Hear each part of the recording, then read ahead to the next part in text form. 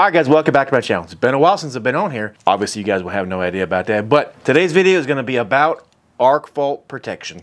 Now this particular breaker right here is a dual arc fault plus GFI. Now these things are being required just about everywhere, especially in the bedrooms. Uh, in my locale, now I'm not speaking for every single one of them, but my locality, we only are we are only using them in bedrooms. Depends on where you are in the country and where you are in the city, state, wherever. A lot of places want the dual function. Now, lucky for me, in my locale, the bedrooms are only required to be arc fault.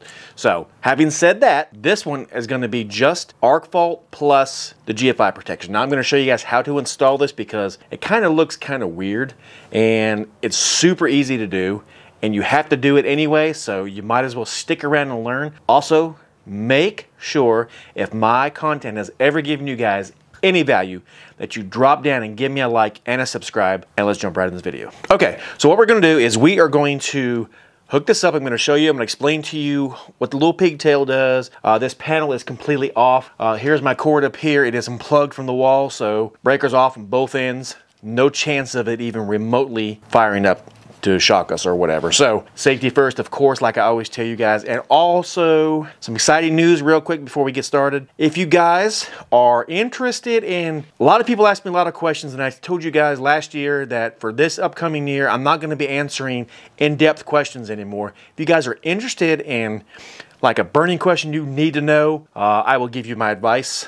It'll be from the code and experience uh, if you want to join the Patreon, it's an easy way to get those answers, uh, or you can just donate to me and we can work something out. However, let's jump in here and talk about where all these wires and what happens here. So, when you have a receptacle here, we're going to say this is in your bedroom wall or wherever, not here on this piece of wood here, but if you have a receptacle and you're running new circuits in your home, all right, so let's just say there's 15 more of them past, you know, down the line somewhere, all right, you have to in a bedroom, at least in my locality, like I said, you have to arc fault protect them. So what we're gonna do is we ran the circuit here. This will be the home run into the panel. And we have a black, we have our white, and we have our ground wire. Now, what you have to do is you have to make sure that you label this, you know, bedroom circuit or whatever, pantry or garage or what have you, all right?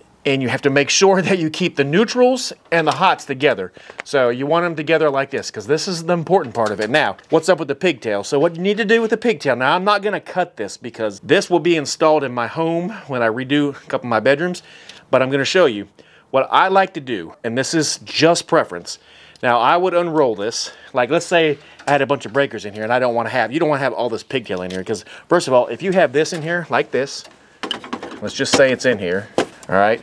And you have all this coiled up and then it's, I mean, that's gonna look like poop on a white rag. So what you wanna do is unroll it. And let's say for this instance right here, what I would do is I would come straight across a little bit higher. Let me bring you in a little closer. All right, so what I would do, I'd form it right here and I would cut it just so it would go in this panel. So all you would have would be this loop right here and then right into the lug right there. All right, now, having said that, where does the rest of the wires go? So, after you would land this on your neutral bar, if you look closely in here, breaker, you can see that there's a brass colored screw and also a silver screw. Now, the silver is always your neutral and the gold is always your hot, even on a receptacle. So that's what you'd have to do is you'd have to put your neutral right here from your wire that you're bringing from your receptacle or your light switch or whatever you're bringing it from. Your black would go on the gold screw. Now I'm gonna hook this up. I'm gonna show you guys exactly what I'm talking about so you can see. I'm not gonna cut this because I don't want to because like I said, I don't know where it's going to go in my panel because I'm only redoing a few cir circuits. So anyway, let me go ahead and show you. Now, if you don't know that, right here on the side, it says load power. Now we guys, now you guys know from GFI videos that I've done, if you don't know anything about the GFIs, check them right here in this corner, you guys will see. But load power, so right there it tells you, if you look here, load, it's right on the gold screw. All right, let's put this in the panel and let me show you guys how it looks when you hook it up. Then we're also going to test it and make sure that it trips with the arc fault and the GFI together. So let's put it in there. All right, like I said, this panel's completely off. My breaker's off even, but it's completely off. Now I'm not gonna put this on, all right, so let's go ahead and put this on here. I'm gonna unroll it right now and leave it long like I said. You can leave yours long if you'd like to. Just, you know, just kind of dress it up as best you can. Now for this video, obviously, all I'm going to do is just put it on there. All right, so we're gonna put the neutral from the breaker into the lug and we're gonna tighten it down. So what we're gonna do now is we're going to take this neutral and we're going to put it into the breaker. Now I'm not gonna dress these wires up because if you followed along with my videos, you guys will know that this panel is severely been used in quite a few of my videos and I don't wanna make these wires any shorter than I need to right now. So we'll just kind of put it in there. So if you're going to do this for real though, you definitely want to make your wires look pretty because this is your panel for God's sakes. Same goes with the hot. We're going to put it into the breaker.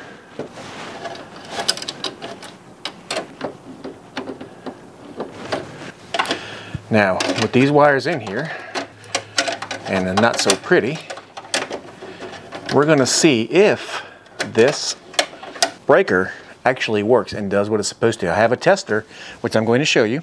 And when I show you guys, I will leave a link down below to Amazon where you guys can purchase it. If you're an electrician or if you're doing this, it's a wise investment for you to invest in high quality tools. So let me show you guys how this works. All right, so with the breaker back on, everything is hot. This whole panel is now energized, so we need to be careful. This is the tool I'm referring to right here.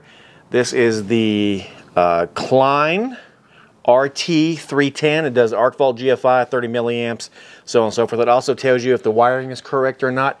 This is a handy tool to have, even for a homeowner, because I mean, it does so many things. And every home has these breakers, every home has GFIs, yada, yada, yada. It also tells you if something's wrong with your plug, you guys can diagnose it. So, when you first turn this breaker on, I hope, let me slide you a little closer here you guys will see the breaker light up. Let's see if you see it. Yeah. It is ready to be tested. Now, what we're gonna do is I'm going to turn my unit on here. All right. So it says not energized right now. Open hot because there's nothing there. When you plug it in to your plug, it says correct wiring. So right now this panel's wired correctly. There's a hot, present, neutral, present, and ground. It's correct. And it does say energized now, and it shows power also. So let me show you guys when I hit the GFI what happens to this breaker right here, all right? All right, now there's no power, you see, not energized, open hot. Okay, with the breaker fully on, we're going to use this tester here. We're gonna plug it in. All right, it says correct wiring like I showed you. Energized, we're gonna trip it with the GFI first and it opens, not energized. And I don't know why this particular one does this. I've tried to mess with this many times, but as you see, it'll flip back and forth. And I don't know if it's just a bad thing, but both of my Klein testers do this. Depends on how you hold this. Watch, if I pull it down, oh, now it's not gonna do it.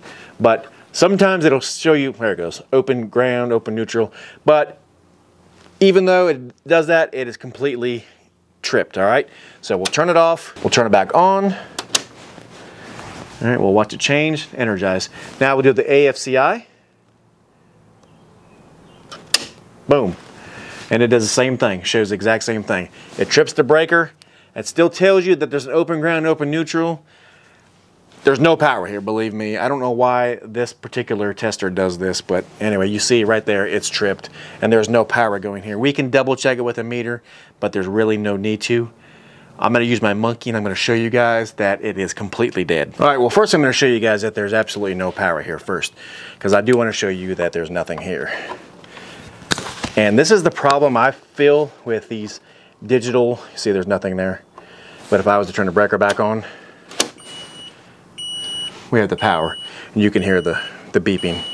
So we'll trip it, no power, and yet it still shows, well it went off. Shows this time open hot. I don't know why these digital readouts do this, but you've got to double check even these meters. And see it says energized, non-energized.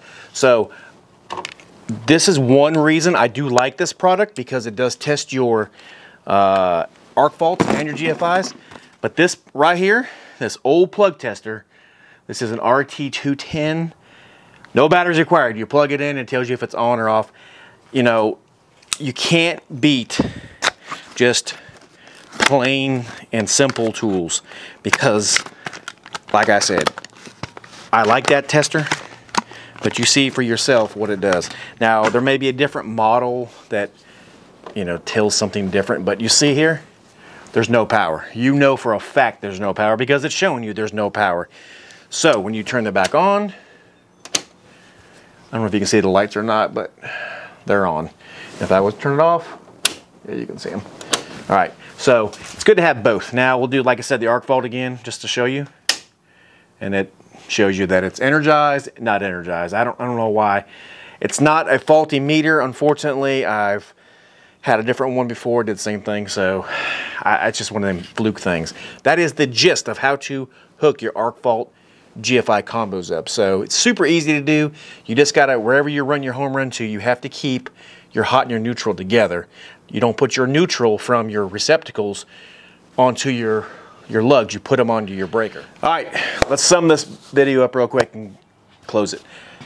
I was asked before, do I like arc fault breakers? And you know, at first I was like, no, because when we first had to start installing them years ago, ceiling fans would trip them immediately. Uh, old, that's going to tell my age, old answering machines with the tapes in it, I don't know why.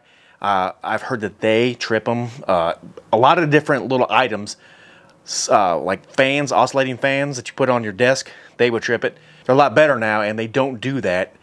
Uh, at least in my experience, they do not. So I think they're safe and they're good to use. And it's an awesome idea because if you have somebody, electrician, yourself, homeowner, whatever, stapling, you know, and you run that staple just a little too close and it pierces the wire, well, it's going to sit there and arc, and eventually it's going to catch your wood on fire behind your wall, and your house is going to go up. So it's a good idea to catch that because if you don't know, you don't know, and you could be sleeping, and then that's the end of it. So anyway, arc fault breakers do save lives. You know, they are costly, unfortunately, but anyway, it is what it is. Guys, you see this hat I'm wearing? If you guys are hunters, I will be doing a video coming up. I don't. It may already be out, so if it is, look up in the corner here, and I'll be posting it right there for you to check it out. This company right here, not affiliated with them, but I did ask them if they would give me a discount code for a hunting blind, and they were so generous that I bought two and a hat. I think it's a good company. I think it's an excellent hunting blind. So if you guys are into hunting, definitely check that video if it's in the corner.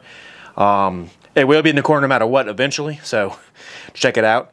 Uh, a lot of upcoming stuff, guys. If you have burning questions and you want to know some questions, join the Patreon. I've got Venmo, PayPal, all that. I can help you guys with your electrical questions or if you just want some advice. If you guys found any value, definitely make sure you smash that like. Also, guys, if you want to see what happens next, make sure you subscribe. God bless and we'll see you on the next one. Have a great day.